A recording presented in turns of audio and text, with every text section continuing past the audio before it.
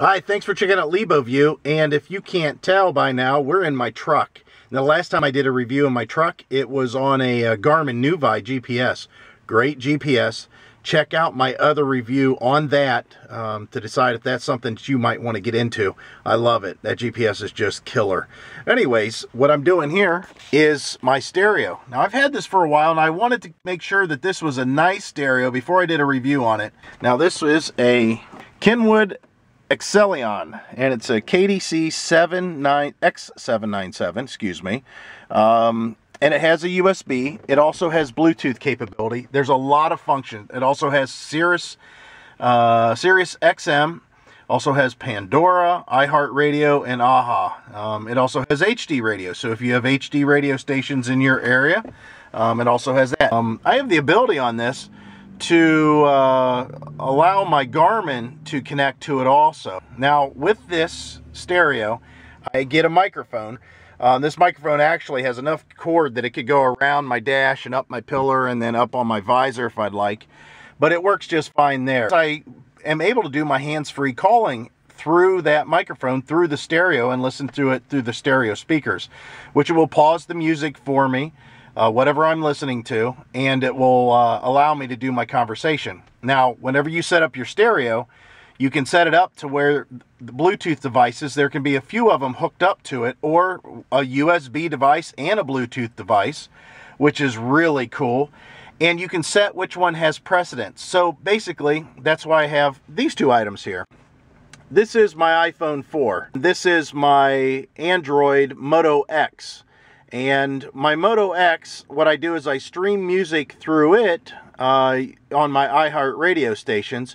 Or if I want, I have music that is saved in here in my iPhone and I just go through it. So what I can do with these two phones is use this as just an iPod. And I can hook it up via USB, but I can indicate that I want this device to get priority even though I have my Garmin Nuvi sometimes hooked up to it, I can still request that I want priority with this device. In case any calls come through, that they'll go through over top of whatever's being done individually with these other items. To hold the button here to turn on the stereo. You can see it's on iHeartRadio and it's saying it's disconnected. So we'll let this go through the process. Now my phone is in a sleep style mode. So it's not really looking for anything, but it will connect to this whenever it senses that it's being asked to. And that's really nice because at that point, you can see it says completed. It's just going to go ahead and allow me to start streaming my music through the iHeartRadio app. And there we go. Now right now, even though I'm in Northeast Ohio, I have this on a Tampa station. And uh, the quality's very good.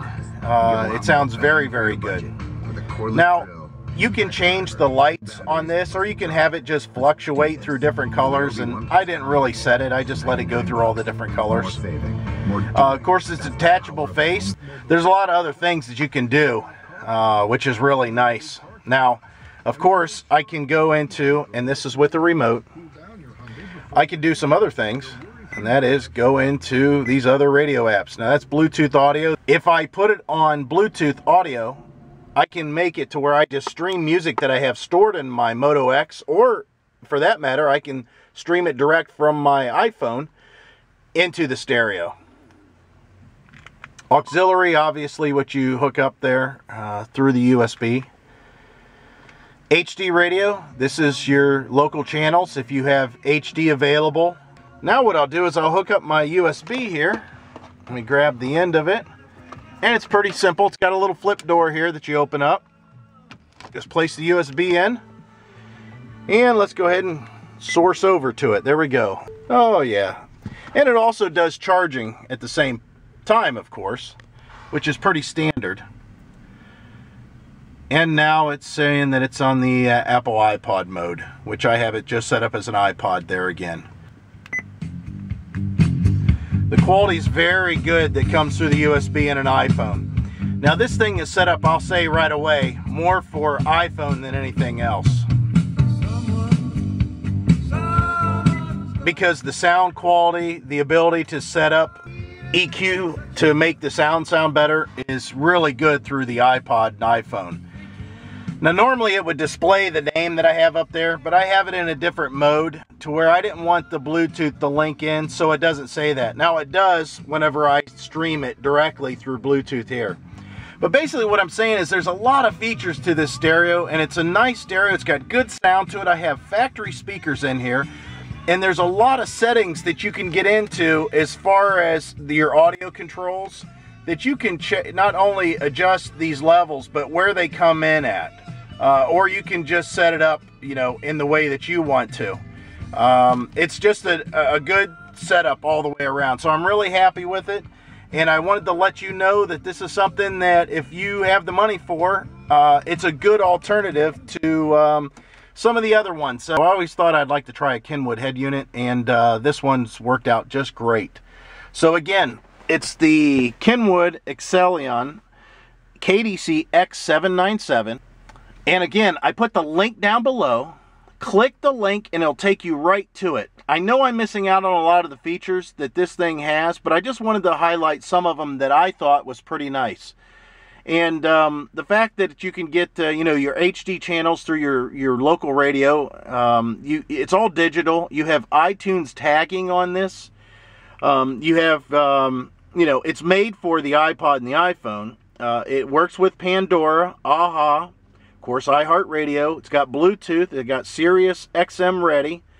Um, there's a lot of things going on there. It's you know got that variable color. If you want to put color, change the color of the uh, the uh, display. Um, it also has uh, RCA outputs. Uh, you know, 4.0 voltage, and then uh, it also has Android music control which uh, I've used that a few times. Um, but this is a Kenwood app that's specific uh, with this type of a phone, and um, it allows, you know, iHeartRadio uh, directly into the Kenwood unit. And again, it's uh, uh, basically an iHeartRadio Kenwood app.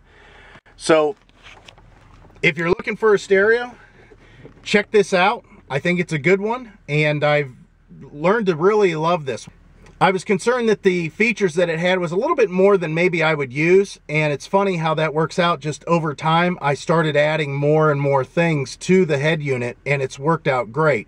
Uh, the fact that you can hook up multiple Bluetooth devices, my kids will hop in the truck and they can sync their iPods, or just their iPods are already connected at some point, and they can play their music through the stereo, which is really nice. They can sit in the back and they can play their music. So there's another nice feature. So if this is something you're looking for or thinking about, go ahead and jump into it. Again, the link is down below in the description. Click the link. It'll take you right to the site. I appreciate it as always. Thanks for watching LeboView. Bye.